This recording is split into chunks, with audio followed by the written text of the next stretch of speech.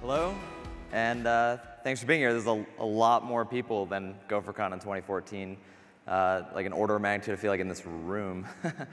um, today, I want to talk about advanced testing with Go.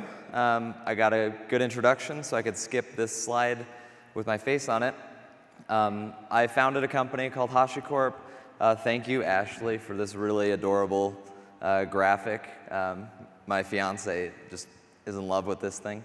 Uh, but we love Go at HashiCorp. Uh, a majority of our lines of code and projects, kind of like by any metric, is written uh, in Go.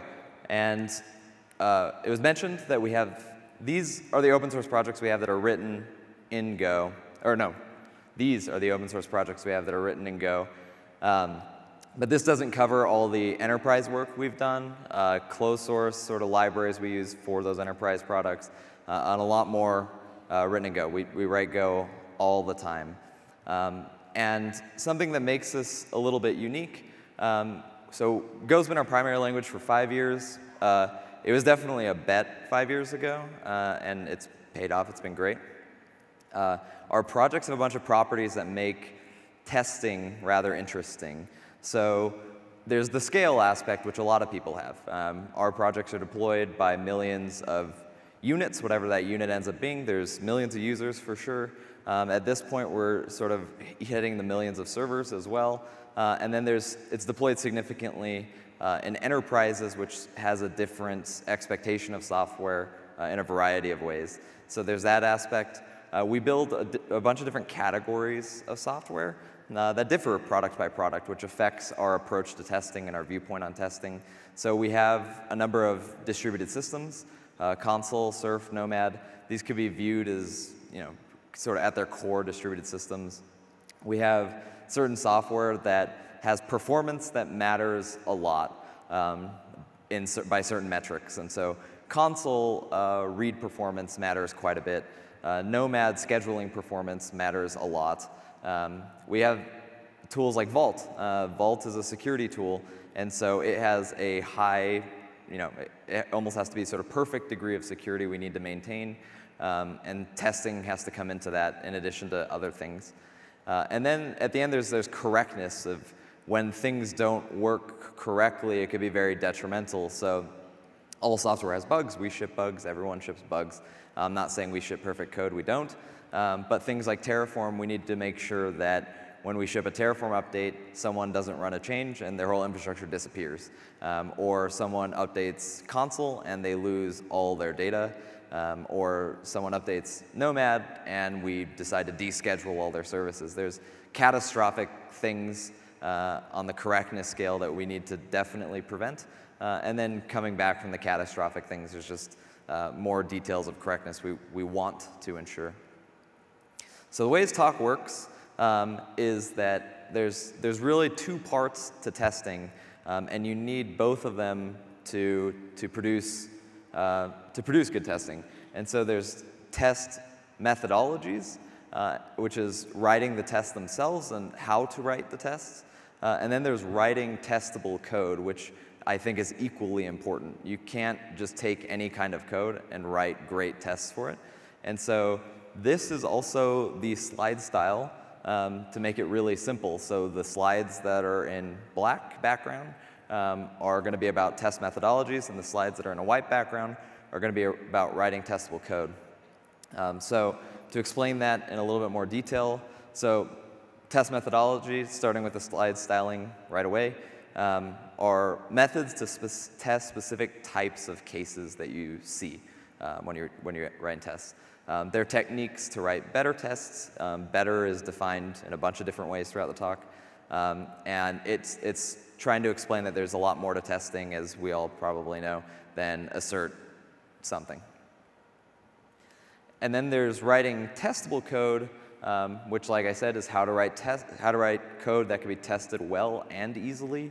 Um, and this is just as important. Um, it's very common, uh, both from junior to senior engineers, I see it all the time, to hear things, hear, hear people say, this just can't be tested well, so I didn't write a test, but I ran through it or something. Um, and they might not be wrong. Like they, they, I might look at the code and say, like, you're not wrong, this can't be tested in any reasonable way.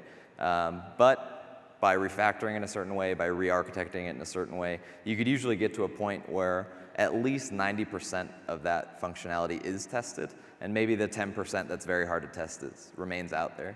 Um, and so at HashiCorp, we, uh, I don't think we've ever seen anything that can't be tested very well, and we hit a pretty broad spectrum. Um, and rewriting existing code could be a pain, but it, usually for testability, it's worth it. Okay, so from here on out, we're just going to dive right into it, and it's just going to be, um, I mean, it's just going to be like a machine gun of about like 30, I think 30 different methods and uh, how to write testable code in total. And so we're just, we're just to get going. Oh, the last thing in the slide format is they are in order roughly from things I expect everyone in this room to know to getting more and more esoteric and weird. So at the be don't be discouraged at the beginning if, you're, if you think, oh, this is just a really beginner talk. Um, I'm going to try to ramp it up for you. So um, I won't promise that everyone will take at least one thing away, um, but I hope that everyone will take at least one thing away. Um, so starting right at the beginning with, with simple stuff, I think, um, and skipping how to write a, a single Go test. I assume everyone knows how to write one Go test, so skipping that um, is subtests. Um, subtests are new in Go 1.8 um, officially, um, and they look like this. So they let you write a test, and they let you um, nest sort of by calling run. They let you nest subtests within a test. And oh, that's good. I, I didn't do the output. But um, if you run the test, you can target those subtests. when you look at the output, it lists all the subtests. Uh, and there's a bunch of benefits to these things. So for example, your subtests are a closure, so now defers work within those. You could use, if you have a huge set of test cases and you're opening files or making network connections or something, you could actually run defers in these subtests rather than uh, accumulating them, or like in the past before this was an official thing, I would actually just make an anonymous function that I called right away just to get the defer functionality um, as part of it. Um, and you can nest them infinitely. So it's built into Go. Um, you're allowed to target subtests, and you could just continue to nest them further if necessary. Um, and it's hard to explain the value of subtests without talking about table-driven tests, since I think this is the 9 out of 10 use case for subtests uh, that I've found. And so table-driven tests uh, look a little bit like this, and I've used the subtest syntax here too. They're a way to build a, a, table of data and a table of test cases within a single test um, and run through them. So in this case, we're testing addition, just as an example. And so there's a bunch of cases up here where we specify the operands for A and B and then the expected value uh, by adding them together. And then you could loop over them, run the subtests, uh, and make it work. And there's a few things I'm showing here. Um, so one, naming the subtest. So in this case, I name it by just with the, the value, like what, what's actually being tested. Um, that's sometimes useful, and then I'll show you in a little bit another option, uh, and then using the actual subtest itself. And so we use table-driven tests a lot. Um, we use it a lot at HashiCorp. I like to almost default in a lot of cases to table-driven tests, even if I have a single case. Um, I like to just set it up, the structure, because if I look at something and I think, yeah, there's probably a scenario where we want to test other parameters here one day in the future. I'll just set it up from the beginning um, with a table. Um, so I like to do that. It's low overhead to add a new test, um, which is the best case. When you're fixing a bug or you find a bug, um, creating a regression test uh, and adding the case is super, super easy for the developer. Um, it makes testing exhaustive scenarios both simple uh, technically, but also visually simple. Like uh, depending on what you're testing with a table, like it's easy to see visually if you've exhaustively tested sort of all the edges uh, of your function. Um, let's see. Uh, yeah, we do this pattern a lot. So I recommend just doing this wherever. Uh, it's, it's a little bit of overhead, but a lot of value, I think, in the long run. The other thing I would say is consider naming the cases. Uh, so here's another example where we just put a name in the test case, in the table uh, thing, and then when we run the subtest, we actually use the name there. Uh, we used to, this is like a long, four years ago when we did table tests, we used to uh, just generate all the, the subtest names at the time, they weren't real subtests, uh, with just the data. Um, but as you get more complex table-driven tests, that starts becoming really unclear. Um, and if you just do like a loop with indexes, the indexes are unclear. Like some people will just do the name as the index uh, of, uh, of the, the slice. And when it's like test failure, you know, test index number 314 failed, uh, it's really hard to find 314. There's definitely been times like in Terraform where we've just gone through a file and been like 0, 1, 2, 3, 4. Um, and that's usually when we start adding the names to things. So that was a mistake we made early on. Um, and I want to add as a disclaimer, like we, I'm not trying to claim at any point during this, this talk that any of these things I say are novel.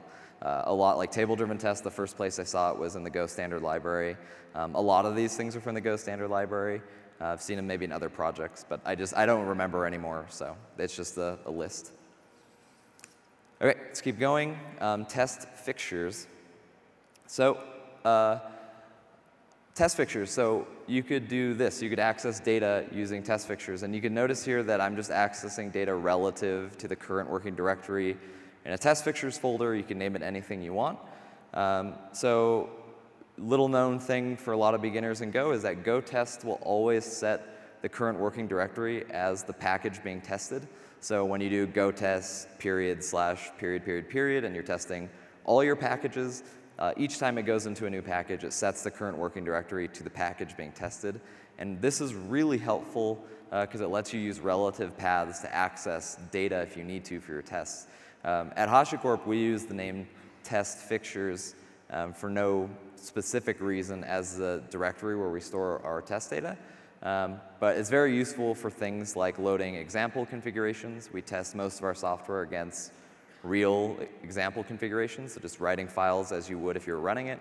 Um, model data for web applications, uh, actual fixtures there. Now binary data, super useful. Um, we use it to test, you know, certain, uh, like Nomad, how it handles um, tar.gz or uh, Docker images and things like that. Um, we, we use test fixtures for this. Just keep going. Uh, golden files, so this is something that's definitely I saw in the, in the standard library, I remember that. Um, is, and golden files is what they called it, I think, in the, in the standard library, which is why I call it this here. Um, golden files are a way to uh, compare complex test output to a file that has the expected result. So um, the place in the standard lib where I first saw this, I'm not sure if it's the only place it exists, is to test gofmt. Um, when, when they test go gofmt, they run go gofmt and then they compare the resulting bytes to a golden file's contents. And they put this flag, which is really interesting. If you put, if you put a global flag um, in your test, it actually becomes available on Go test. And so they put a flag update that when you use the flag update, uh, it actually updates all the golden files. So your tests will always pass when you use the update flag because all the files will get uploaded, uh, uh, updated, but you could use that to update the golden files, and it's really um, a much better way to compare lots of bytes than just putting the bytes in a constant or something in the footer of the file or in the test itself. Uh, and so uh, just running, I'll just run through this real quick since it is a lot of code, but it's actually usually the pattern that golden files take more or less. Um, you usually have a table with golden files. That's usually part of the thing. It's either a table or it's a, a generated table from a directory uh, or something. You go through, you do something to get the actual bytes. That's the actual assignment there. Um, you load the golden file by usually the name. You load the golden file. If the update flag was specified, you update the golden file. Um, and, and don't judge me, I'm ignoring errors here because we have limited space. I, I would test the errors usually. Um, then you read the golden file and you just do a bytes equal check. And if it fails, uh, you come up with some way to show a diff of that. So like the fump test, for example, actually have a really nice diff function to show the diff uh, in a way that isn't just here's bytes one and here's bytes two and they just don't match, just find the difference. Um, but depending what I'm testing, sometimes that will be what I do, um, or I'll actually do the diff. And then when you run go test, this is what it looks like. You could just introduce flags uh, as you want. Um, and I guess I don't have another section that explains that, but you could introduce flags to the go test command. And we use that for things other than golden files. Uh, we use that in some tests. I'm trying to think to, to disable certain types of very side effecty tests or very expensive or very slow tests um, you could just introduce flags. Uh, and I think, yeah, I think I covered all this. I have a lot of these bullet points to make it more friendly for when I upload the slides. Okay, so we did a lot of test methodology, and now we're going to see our first how to write testable code, um, and there's going to be a lot more from here on out. So global state, I think this is pretty obvious, um, but avoid it as much as possible. There's a lot of reasons to do this, of course, um, but in the context of tests, it's really important to avoid it because it makes your tests depend, you know, change depending, potentially change depending on the order they're ran. Um, it makes it difficult to reason about, you know, the full sort of inputs that are necessary to affect the behavior of, of some, some thing. So instead of, try, instead of using global state, um, we try to make whatever is global a configuration option. Um, maybe we set up a constant that's the default value in the global scope, uh, but we still always try to make a configurable thing um, because you usually want to modify it or twiddle it uh, for tests. So here's some examples of, you know, not good, better, and best. Um, it's actually, it's, so this is a weird ANA pattern. Like you, should, you probably shouldn't be using global state at all. Like making a globally modifiable variable seems worse than making a constant. Um, the reason it's usually better is because constants are, they really limit your testability. And so making it a variable, at least you could change some behavior in a test.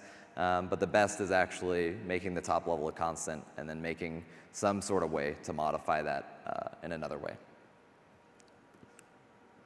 Okay, test helpers. Um, so here's an example of a test helper that creates a temporary file. Um, so there's a few properties of this test helper that um, I'll talk about. So one, the test, help, test helpers should never return an error. Um, you know, functions in Go should always return errors. Test helpers should never ever return an error. They, have they should have access to the T structure, so just fail the test if there's an error. Um, the other thing is uh, sort of by not returning the error, you make the test usage a lot clearer. If, if your test helpers return an error, your tests that use the helpers turn into run test helper if error not equal nil, you know, fatal, over and over and over. Whereas when they just fail on their own, you could get a really dense block of test helper calls, you know, right at the beginning to do a bunch of setup, and it's just a lot. It removes a lot of, I would say, like visual overhead when you're trying to figure out what a test does. Um, and you should be careful about when you make these test helpers. I guess I get to that. Um, so I'll talk about that later. The other thing I want to point out is I use a feature that's in Go 1.9, um, t.helper. Uh, so that just, just was introduced in 1.9. Uh, but by calling t.helper in, in a test helper, it makes the error output, the stack trace output better um, when some you know, panic situation happens in a test helper. Uh, test helpers have been notorious in the past for panicking and the, the, failures there, but it's sometimes hard to find the exact test where that failed. So if you're moving on to Go 1.9, I recommend just dropping this in all your test helpers. Uh, and so I do, I, I explained all this stuff, so I'm gonna skip it.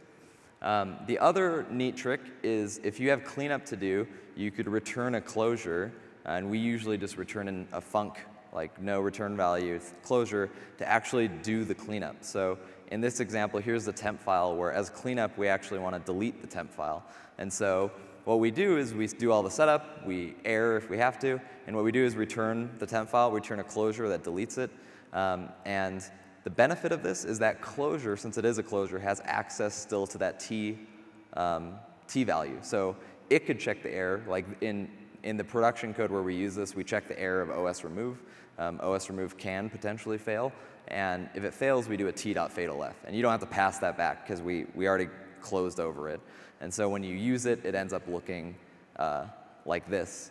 Um, sometimes you could get really clever. Um, and it's not always beneficial for readability, but sometimes you could get really clever uh, if you're setting up some side effect, some, some world state that actually has no return value um, of just returning the function alone, you could one line the whole thing. And so this is a more or less, I mean, I think it's a little bit longer, our actual one, because we check all the errors, but this is more or less a test helper we have in, in all our projects uh, where we could change a directory uh, to test things. And, and usually we're changing directories to test CLI behavior um, but you could one-line it.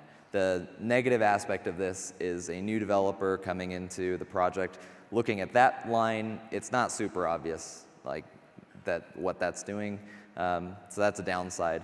The, the argument we sometimes make is that we, we really only use it, I think, for chdir, uh, and it's we think this particular case is obvious enough. So I said all this. Um, most important thing is you have use the testing.t. Just use it in your test helpers. Uh, don't return errors in your test helpers. Okay, this is, uh, I guess I should also say that some of these I expect people will disagree with. so this is one of those that, that I think multiple times at HashiCorp we've hired very experienced Go engineers, and this is something that has sometimes uh, rubbed them the wrong way, but it makes, over time, we found everyone kind of likes this more. So repeat yourself in tests. Um, what, what we prefer, what I prefer overall in tests is localized logic as much as possible. When a test fails, I usually, or I or someone else usually wrote that test a long time ago, um, and it's failing because I'm doing a refactor, I'm doing a new feature that caused it to fail, and I don't really remember the details of the test anymore. And there's nothing more frustrating to me than going to a test and realizing it calls seven different functions that are in four different files, and I have to like start building all this mental context of what's happening, why is it doing that, that sort of thing. Uh, it's much easier, actually, uh, I think, to just have a huge test that's like 200, 300 lines of code that just does everything right there so that I could just go through it and understand exactly what that test is. Um, the project where we do this the most is Terraform. Uh, if you go in Terraform, there's files called context underscore and any of the tests in there. Uh, the, each test is around 200 lines of code. And when we write a new test, what we do is we take an old test, we copy it, we paste it, and then we start modifying the five lines we need to modify. Um, and it feels bad sometimes, but it's been you know four years, and we get a lot of test failures in context because it's sort of the core of Terraform, and it's super super helpful to be able to open one you know Vim panel, look and have everything there that you need to figure out why the test is failing.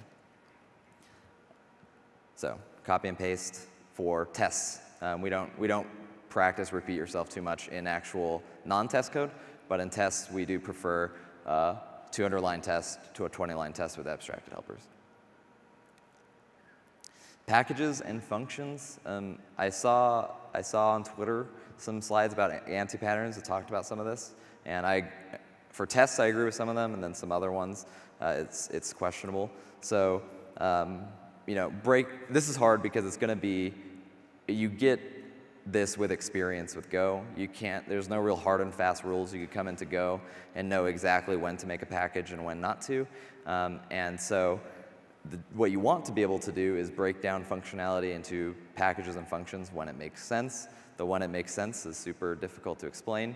Um, you also don't want to overdo it, um, which is super hard to explain. Um, but doing this correctly aids testing quite a bit because it gives you a much cleaner surface area of what to test. Um, you know, you know, there's certain safety mechanisms of package boundaries of unexported versus exported that you don't need to worry about, um, and, and it makes things a lot easier. So a good example here is Terraform has a DAG package for doing uh, directed acyclic graphs, and that DAG package was written, I don't know, in 2013 or 2012, uh, and it's been it's been touched like three times in four years because, because writing, writing a simple like graph library doesn't usually require change. Um, so we write the test there. We know the coverage of that package is 100% at all times. Um, and we know that bugs likely aren't there. Um, but it's, it's, there, there's some issues with this like packagification. So, uh, oh, I actually didn't bring this in here. It's the next slide. Um, but unless the, the function is extremely complex, um, we usually try to only test exported functions.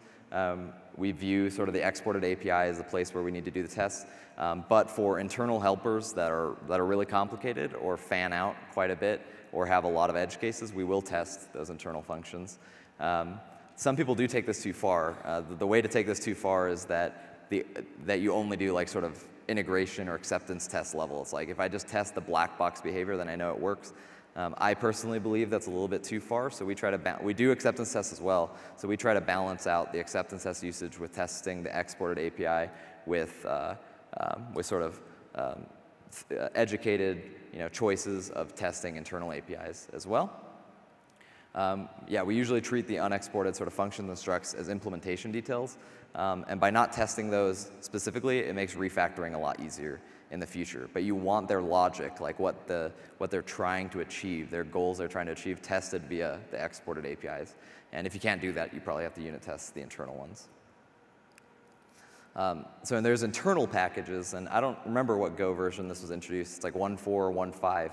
Um, but if you make a package named internal, then any pack, I can't explain it in one sentence probably, but any, any packages sort of under that can only be accessed by packages in folders less than the folder contain. It doesn't matter. So there's, there's, there, there's internal packages. They allow you to create a mechanism whereby external people cannot import your internal packages.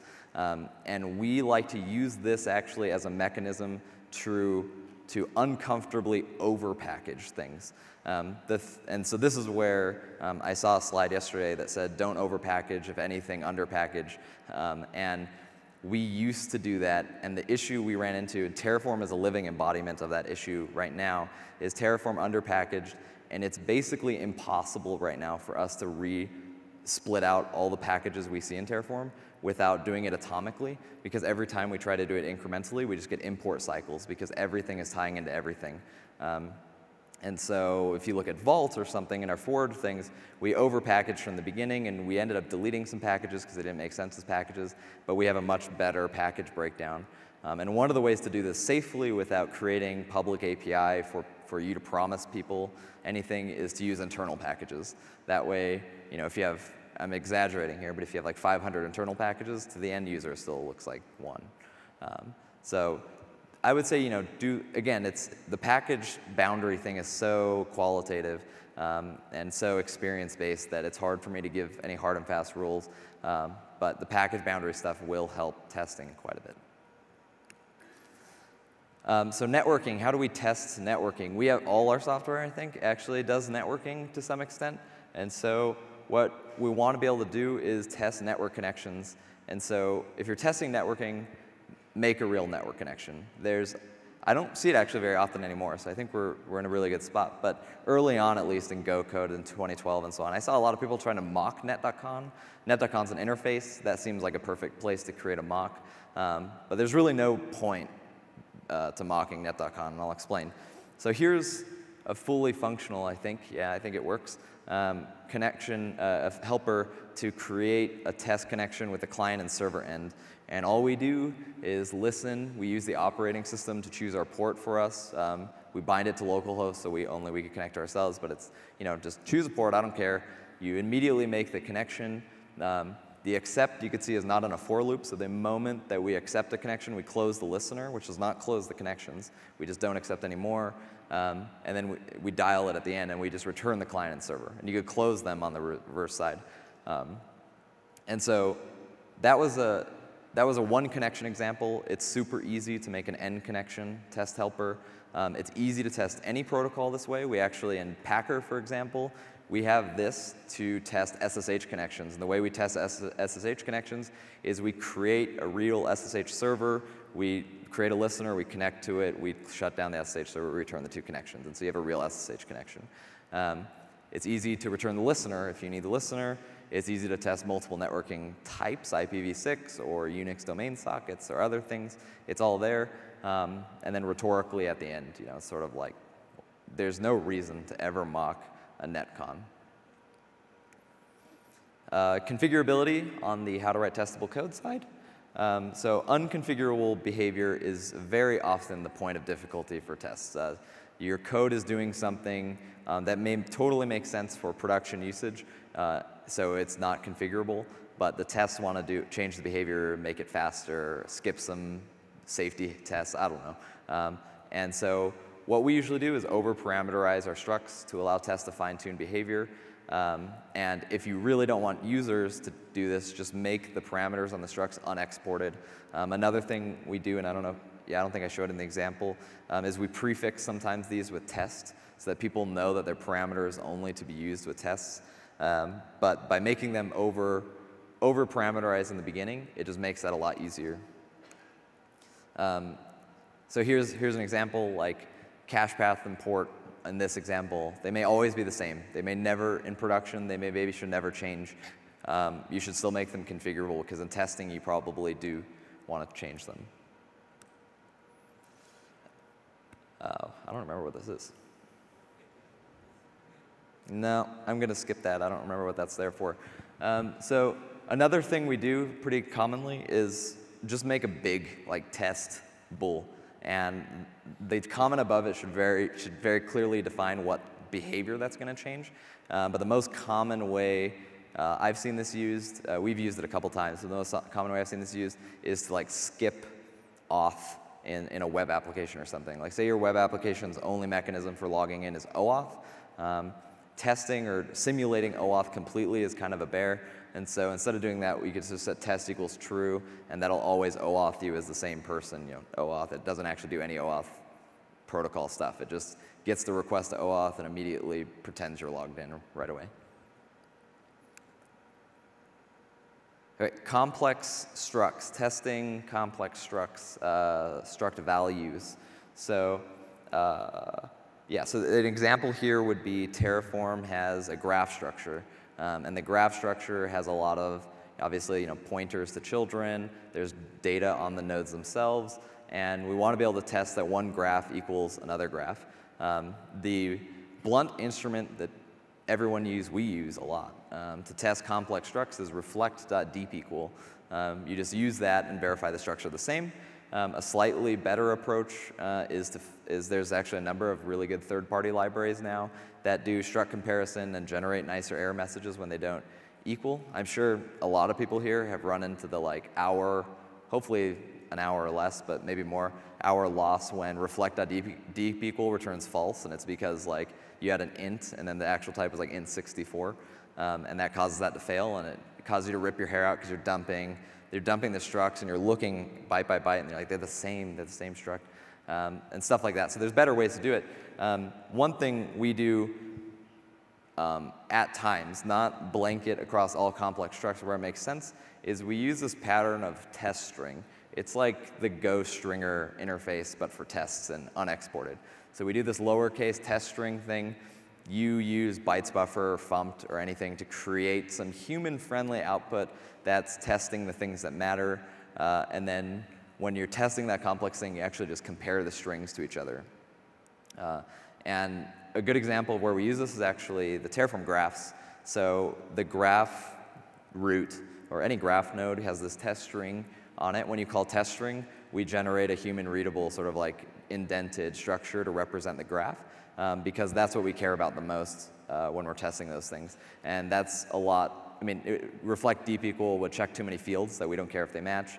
Um, and you get into a lot more complex things. So for data structures like trees, linked lists, et cetera, um, this sort of pattern helps a lot. Uh, and like I said, you could use reflect deep equal, third-party lib. We certainly do that in different places. Um, and I'm going to be honest that the test string thing is pretty blunt. Like you, when people see it, it's kind of weird. Um, but we've had really good results for complex structs. And here's an example of like the test string output we generate for our graphs in Terraform. It's like a, a simple graph testing a simple single dependency. Uh, and these, these are the strings we compare. And so when they fail, it's actually a lot easier for us to generate diffs and failure output that helps versus you know, these two graph structures that together have, I don't know, well, this is a simple one, but in, a, in the more complex Terraform tests, like for example, a graph could very easily have 2,000 or more graph nodes in there, and a reflect deep, deep equal failure is a nightmare to debug, whereas this is a lot easier. Subprocessing. Um, this one is another one I specifically remember I, I got from the Go standard library um, and thought was genius, whoever did that in the Go standard library. So subprocessing is a typical point of difficult to test behavior. Very, very typical. Um, and there's usually two options when, when you're faced with the need to subprocess. You could either actually do the subprocess, or you could mock the output or behavior, uh, or mock the whole subprocess in general. So um, as an example, like say you're writing an application that interfaces with Git um, and does a Git status to see what's going on. Um, you could either actually execute Git and set up a Git repository so that Git status outputs what you would like it to output, or you could create you know, some way to you know, test configurability to route around that and just pretend you outputted Git and give you some mock data. Um, we like to actually execute a subprocess, but it might not be the binary, the real binary that you're executing. Um, and so the one option is to just execute the real thing, um, in this case, Git for real. Um, and what we do is just ex subprocess it. There's no real complexity here. Um, but we do guard the tests to make sure that the binary exists. So um, as an example, like here's something we'll do. Uh, in the init module in it, uh, uh, in a package in it, we'll do a look path to just kind of as a best guess to see if Git's available. We'll set some global variable, and then in the tests themselves, we'll just, we'll just guard on it and skip uh, if it doesn't exist. We do this kind of pattern a lot, usually to help with like Travis CI testing or testing in environments that can't support certain types of tests or it's more difficult to support certain types of tests. We do this sort of thing.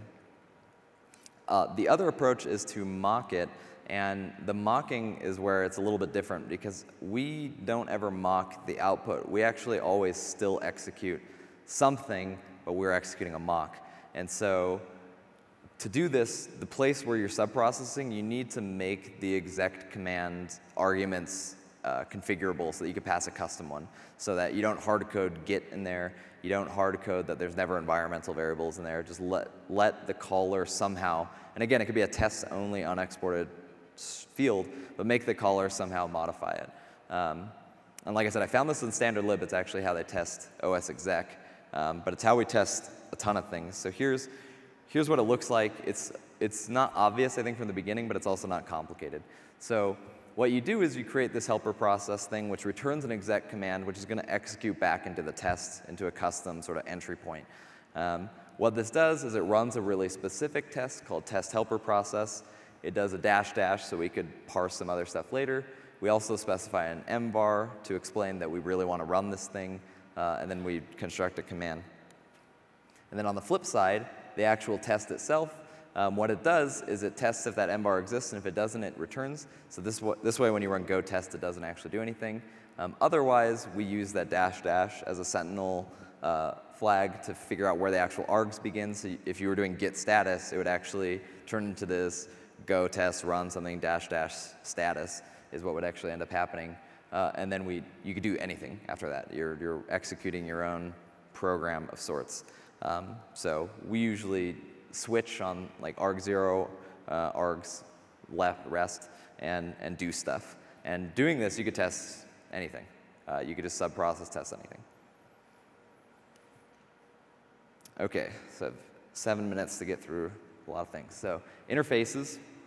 Um, interfaces are important mocking points. I'm sure we've heard this before. They're not just pluggable points for consumers. They're important mocking points for testers. Um, when you have an interface, you could uh, test that interface by creating a mock one easily. So similar to packages and functions, it's very hard to create hard and fast rules of when to create an interface. It's very easy to over-interface things.